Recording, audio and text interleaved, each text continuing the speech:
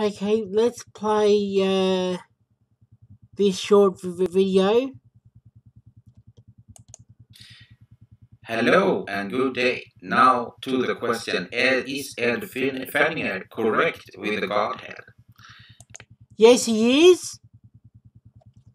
God the Father is God the Father. The, the Lord J Jesus is, is the Son, the second person of the Godhead, right?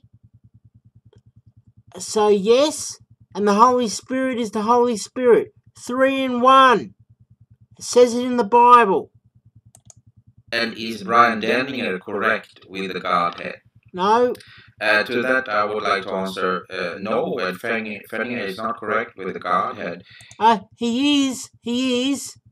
When he says he believes in the Trinity, he should believe in Jesus Christ. He does believe in Jesus. Okay, he does believe in the Lord Jesus, but he believes in the Trinity as in the Godhead. So that's fine, but he's he for salvation he has his faith in the Lord Jesus and his shed blood. So Ed Pfenninger's got the gospel correct. Same with um, Robert Breaker. And Bryan Denlinger doesn't have have the gospel correct. Christ. It says so in the Bible that God the Father wants you to believe on His Son. That's right. Jesus is God the Father's Son. See, so Ed Pfenninger is correct. Right, so. So Ed Pfenninger is not correct. Yes, he is. Now, is Bryan Denlinger correct with the Godhead? No. Well, Bryan Denlinger, he uses the word Godhead instead of Trinity, which is a word in the King James Bible. But he says that God the Father is the soul of the Godhead.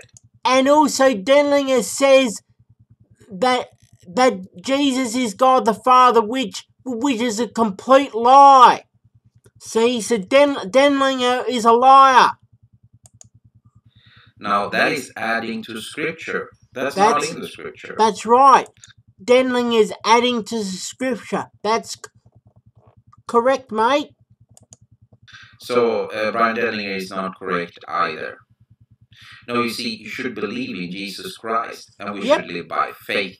Exactly, exactly. But when discussing about the Godhead, Ed Pfenninger has the Godhead correct. God bless. God bless you all, and may Jesus Christ always be with you. Yep. Bye for now. Thank you, mate. Okay, bye.